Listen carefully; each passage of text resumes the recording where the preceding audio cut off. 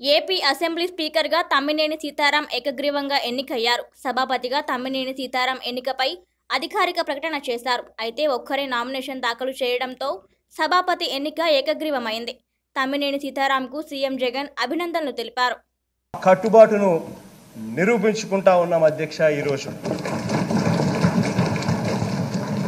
మీ ఆధ్వర్యంలో నడిచే ఈ శాసనసభ పార్లమెంటరీ సాంప్రదాయాల విషయంలో దేశానికి ఆదర్శం కావాలని కోరుకుంటూ మరోసారి మీకు అభినందనలు తెలియజేస్తా ఉన్నాను అధ్యక్ష.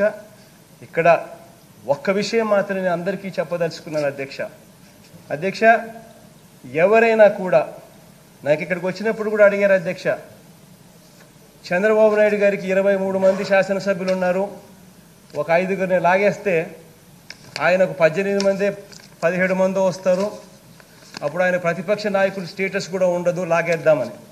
నేను అన్నా అధ్యక్ష అలా చేస్తే నాకు ఆయనకు తేడా లేకుండా పోతుంది అన్నాను అధ్యక్ష.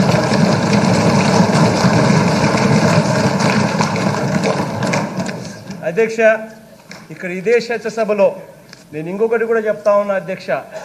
అటువంటిది ఎక్కడైనా జరిగితే అటువంటి పార్టీల ఆ పార్టీ నుంచి ఎవరైనా మేము తీసుకుంటే ఆ పార్టీలో నుంచి మేము ఎవరినైనా తీసుకుంటే వారిని ఖచ్చితంగా రాజీనామా చేయించిన తర్వాతనే తీసుకుంటామని కూడా గట్టిగా చెప్తా ఉన్నాం అధ్యక్ష.